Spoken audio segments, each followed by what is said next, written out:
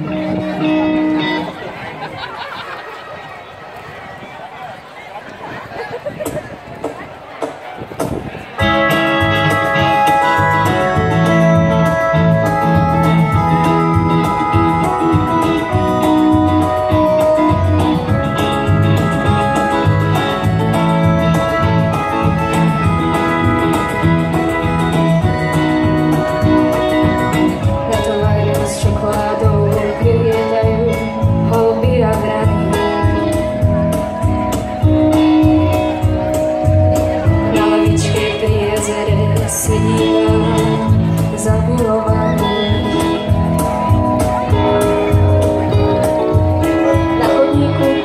obchodom oblievajú chlapci vodou dievčatá, čo sa im páčia a ich príbeh v čokoláde začal.